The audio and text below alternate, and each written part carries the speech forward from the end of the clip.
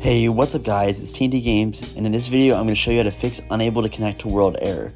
Um, I've noticed as we're coming into the new um, update coming up in 1.21 as well as in 1.20, there's going to be a lot of people that are going to want to play the new the new um, update and they're not going to be able to connect and you're going to get the screen that says we were unable to connect you and that's really common it's not unlikely um, really expect expect that going in so the first thing you have to do is go to settings and this is exactly how you solve it. First thing you have to do is go to settings. You're going to sign out of your account. This is really important because if you don't sign out, it's not going to work. So make sure you sign out of your Minecraft account, Microsoft account more specifically. So go to settings, sign out, and then sign back in.